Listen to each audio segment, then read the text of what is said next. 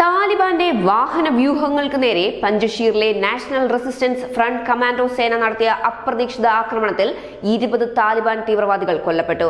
പഞ്ചഷീർ പ്രവിശ്യയിലെ ധാര രോഖ ജില്ലകളിലൂടെ സഞ്ചരിച്ച വാഹന വ്യൂഹങ്ങൾക്ക് നേരെയായിരുന്നു ആക്രമണം. ആദ്യത്തെ ആക്രമണം ധാരയിലാണ് നടന്നത്. പിന്നാലെയായിരുന്നു രോഖയിലും ആക്രമണം നടത്തിയത്.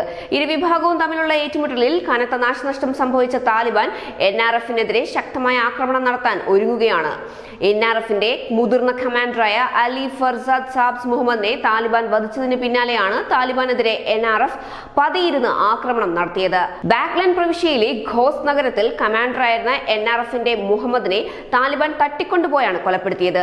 താലിബാനും എൻ ആർ എഫും നേർക്കുനേർ ഏറ്റുമുടുന്ന അഫ്ഗാനിലെ പ്രമുഖമായ പ്രദേശമാണ് പഞ്ചഷീർ അബ്ദുള്ള ഖാലിൽ എന്ന ജില്ലയിൽ നടന്ന ആക്രമണത്തിൽ ഇരുപത്തഞ്ചോളം താലിബാൻ തീവ്രവാദികളെ എൻ ആർ എഫ് കൊന്നൊടുക്കിയിരുന്നു. പ്രദേശവാസികളെ താലിബാൻ ക്രൂരമായി ഉപദ്രവിക്കുന്നത് പതിവായതോടെയാണ് എൻ ആർ എഫ് താലിബാന് കനത്ത തിരിച്ചടി നൽകിയത്. സാധാരണ പൗരന്മാർക്ക് നേരെ താലിബാൻ സ്വീകരിക്കുന്ന നയങ്ങൾക്കെതിരെ ശക്തമായ പ്രതിഷേധമാണ് എൻ ആർ എഫ് നടത്തുന്നത്. താലിബാൻ വ്യോമാക്രമണത്തിലൂടെയും മറ്റും എൻ ആർ എഫിനെ തകർക്കാൻ ശ്രമിക്കുന്നുണ്ടെങ്കിലും അവരുടെ പ്രതിരോധത്തിൽ അങ്കലാപ്പിലാണ് താലിബാൻ.